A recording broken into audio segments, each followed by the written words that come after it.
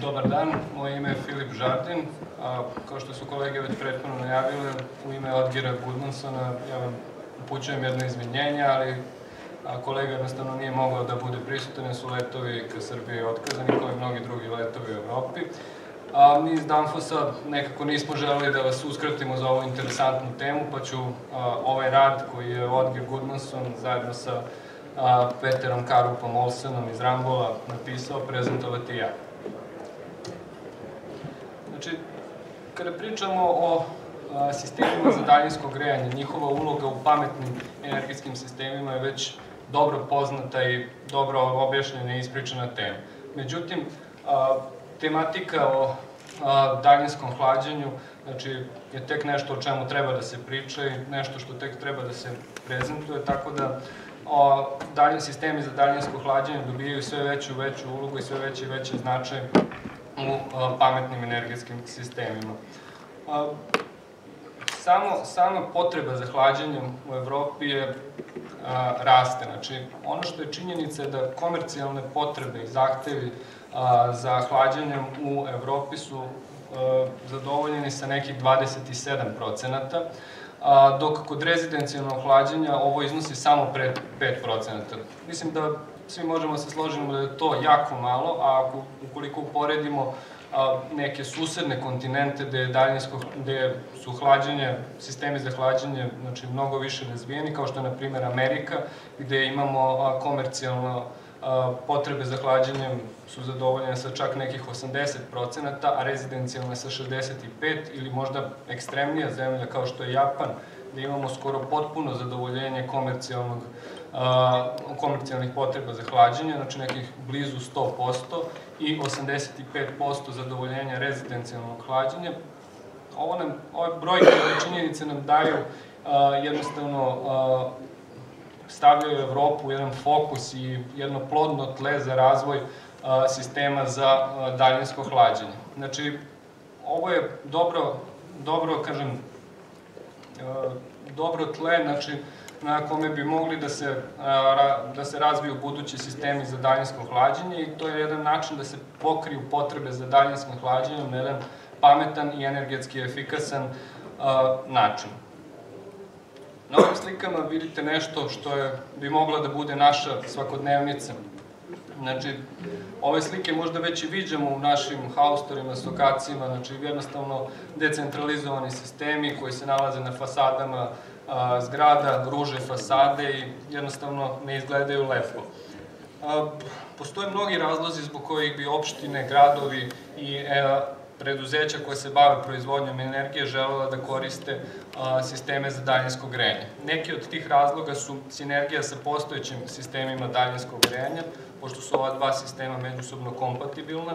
Takođe, postoji mogućnost povećanja iskorišćenja kombinovanih CHP postrojenja, jer poznato je da kod CHP postrojenja u letnjem periodu zbog manjih potreba za grejanjem jednostavno smanjuje se efikasnost ovih postrojenja, tako da u letnjem periodu moglo bi da se poveća korišćenjem sistema daljinskog grejanja.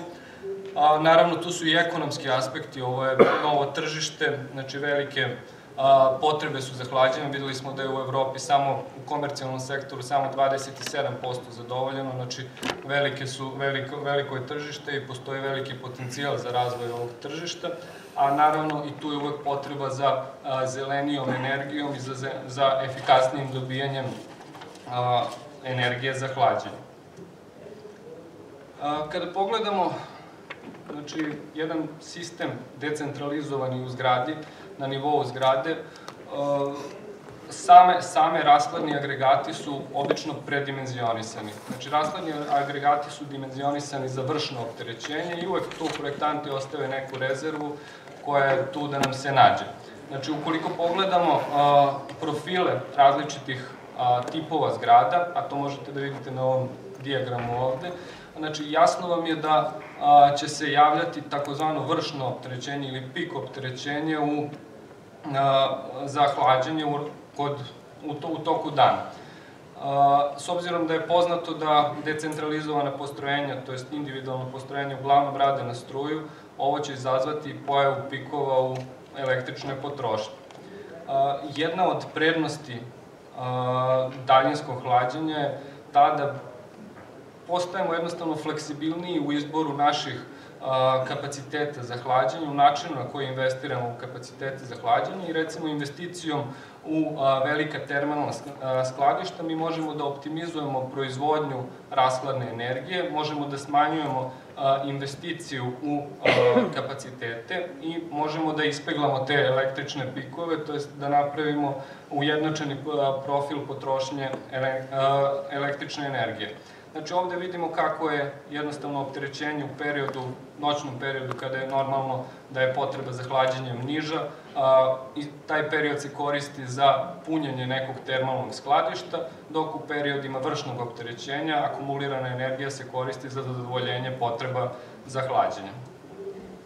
A, takođe, treba, treba uzeti u obzir da, kao što smo rekli, sistemi individualni su uglavnom predimenzionisani, a, uglavnom su oni dimenzionisani za vršno opterećenje, rekli smo da tu imaju uvek i neke rezerve, ali u većini vremena i u realnim vremenskim uslovima, znači ovi sistemi rade samo u parcijalnom opterećenju, što znači da rade sa manjom efikasnošću, a većina krajnjih korisnika nema dovoljno tehničke ekspertize ili jednostavno nema dovoljno ljudstva da svoje rasladne agregate drže u optimalnom stanju, tako da a, ta rasladna postrojenja ne rade sa optimalnim performansama.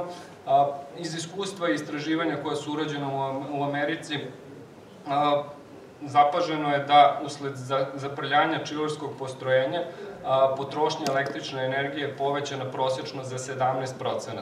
Ovaj podatak ne treba da čudi iz prostog razloga zato što je poznato da samo 0,15 mm biofilma, znači koji se stvara na površini za razmenu toplote, dovodi do skoro 6% povećanja električne energije kod raskladnih kula. Tako da održavanje ovih sistema takođe predstavlja bitan faktor u efikasnosti ovih sistema. Kod kod firmi koje se bave sistemima za daljinsko hlađenje, hlađenje je njihov osnovni biznis. Znači, u njihovom interesu je da njihovi agregati uvek rade u, optimalnom, optimalnim režimima i da daju maksimalne performanse. Sav višak energije koja se dobija hlađenjem može da se preusmeri u sisteme za grejanje i da se na taj način koristi sinergija sa sistemima za daljinsko grejanje. Takođe, izborom decentralizovanog postrojenja za sistem za hlađenje mi se opredeljujemo uglavnom za jednu vrstu goriva. A, najčešće u zgradama to su čileri sa električnim kompresorima, to jest naš izvor energije je struja i mi smo zavisni od tog, od tog energenta, to jest od njegove cene. A, sistemi za daljinsko hlađenje su nezavisni od goriva i mogu da koriste bilo koje izvore koje su nam u tom trenutku dostupni. Tako, na primer, moguće je koristiti free cooling, ukoliko imamo u blizini dostupan neki okean, more, reku, jezero i recimo u hladnijem periodu kada je temperatura vode pogodna koristi se free cooling, u toplijim mesecima možemo da pređemo na korišćenje absorpcijonog čilera za recimo pokrivanje baznog opterećenja, a, vršna opterećenja mogu da se, po, da se pokrivaju na primer sa termalnim skladištima ili sa čilerima velike snage koji bi se koristili i uključivali samo za pokrivanje vršne potrošnje. Jednim rečima, daljni sistemi daljinskog hlađenja nam daju veliku fleksibilnost i nezavisnost od izvora i izbora samog goriva za koje će se koristiti za stvaranje raskladne energije. A, tipična, tipičan priča za sisteme za raskladno, a, za, za sisteme daljinskog grejanja je da kada se pojave na tržištu, oni vrlo brzo rastu. Ovde vam je prikazano rast sistema za daljinsko hlađenje u Stokholmu, znači gde vidimo da je 95. godine počeo sa radom, znači i taj rast je konstantan do 2006. godine kada je praktično a, došlo do zasićenja tržišta, to jest većina potreba za, za hlađenjem je zadovoljena i nakon toga se vidi stagnacija tih sistema jer su oni došli do optimalne veličine. Slične a, slične grafike možete da vidite i sa drugim sistemima za daljinskog grejanja, znači vrlo brz, praktično eksponencijalni rast odma nakon početka rada. Tako da evo ovde je primer za Helsinki, gde se očekuje eksponencijalni rast. Trenutno se nalazimo negde ovde oko 2016. godine, znači i očekuje se da će taj rast biti do 2030. godine. Ne znam da li ste primetili jednu interesantnu činjenicu, ali sve ove gradove i sisteme za daljinsko e, grejanje koje smo naveli odnose se na skandinavske zemlje. Kada pominjemo sisteme za daljinsko hlađenje, praktično svi pomisle na zemlje sa toplim klimatskim podnebljem, što zapravo i nije, nije stvarna činjenica. I jedna samo podatak koji je interesantan je da skandinavske zemlje predstavljaju u Evropi najveće tržište za rasladnu energiju, a u Švedskoj se proizvodi trenutno 1 teravat čas rashladne energije i to predstavlja 33%, to je jednu trećinu ukupne proizvodnje rashladne energije u celoj Evropi. Tako da sistemi za daljinsko hlađenje, nisu rezervisani isključivo za zemlje sa, top, sa toplim klimatskim podnebljima, već su rezervisani i za zemlje sa hladnim klimatskim podnebljima. A, Rambol, jedan od distributera, je razbio jedan vrlo efikasan sistem za mapiranje i za određivanje potencijalno dobrih zona za, za, za daljinsko hlađenje. Naime, na mapi grada se određuju mesta koje imaju potrebu za hlađenjem i oko njih se crtaju krugovi. Veličina kruga zavisi od potrebnog kapaciteta za hlađenje. Na mestima gde dolazi do a, velike koncentracije ovih krugova i gde se ovi krugovi preklapaju, tu znači da je, postoji vrlo velika vjerojatnoća da je sistem daljinskog hlađenja isplativ i da je potrebno uraditi dodatne ekonomske analize kako bi se to i potvrdilo. Ali ovo je nešto što možemo u vrlo kratkom vremenskom periodu da uradimo i na, vrlo lako možemo da identifikujemo potencijale za sisteme daljinskog hlađenja. Što se tiče same opreme, principijalno, principijalno znači, podstanice za daljinsko hlađenje su identične kao i podstanice za daljinsko grejanje. Jedino zašto treba obratiti pažnju je da su komponente prilagođene za niske temperaturske razlike, znači nisko delta T koje vlada u sistemima za hlađenje. Ono što je tipično i što je onako možda interesantno je da je za isti kapacitet podstavnica za daljinsko hlađenje tipično dva puta veća, znači armatura i dimenzije cevoda dva puta veća nego, nego za isti kapacitet kada bismo govorili o podstavnici za daljinsko grejanje. A, ono, postoje neke specifičnosti koje treba obratiti kod, na koje treba obratiti pažnju kod podstavnica za daljinsko hlađenje, tu je pre, preoshodno problem sa kondenzacijom, znači neophodno je adekvatno izolovati podstanice, znači adekvatnom a, praktično a, izolacijom koja ne propušta vazduh i koja ima u sebi parnu barijeru i a, takođe potrebno obezbediti podstanice od smrzavanja a, koje se u sistemima za daljinsko hlađenje javljaju prilikom niskih spoljnih temperatura i kada ne postoji potrošnja a, unutar sa, ne postoji potreba za hlađenje. Neki od izazova koji, sa kojima se sistemi daljinskog hlađenja a, susreću su znači, velike početne investicije, potreban je veliki novac da se uloži u rasladna postrojenja i taj, te investicije dolaze u trenutku, baš ajde da kažemo za investitora najnezgodnijim, kada on ima najmanje ugovora, to jest kad ima najmanje potrošača i potreban je novac da bi se uložio, koji, koji je neophodno uložiti u ovakav sistem. Zatim potrebno obezbediti prostor za, a, sme, a, za smešte postrojenja, znači pored same tehničke zgrade gde su, gde su smešteni agregati, a, ukoliko imamo termalno skladište, potrebno obezbediti prostor za termalno skladište. Takođe, a, mogu se javiti izazovi sa distributivnom mrežom, s obzirom da se radi o niskotemperaturskom režimu sa malim delta T, a, cevovodi i protoci su jako veliki i u gusto, urba, gusto naseljenim urbanim zonama nekada je izazov pronaći odgovarajuće trase i rute za a, sisteme daljinskog a, hlađenja za njihove cevovode. A, takođe, problem koji može da se javi a, predstavlja buka. Velike šivori stvaraju veliku buku, ali adekvatna rešenja za izolaciju, znači za apsorpciju buke već postoje i ovi problemi su takođe rešivi. A, jedan od problema je i taj low delta T sindrom takozvani koji je niska razlika između razvoda i povrata. Ali svi ovi izazovi izgledaju strašno, ali nisu zapravo strašni i oni mogu se prevazići a, dobrim pripremom, znači korišćenjem visoko kvalitetnih a, rešenja kao i velikom, velikim fokusom na rad samog postrojenja. Neki od glavnih faktora koji utiču na razvoje sistema daljinskog hlađenja su ekonomija razmere.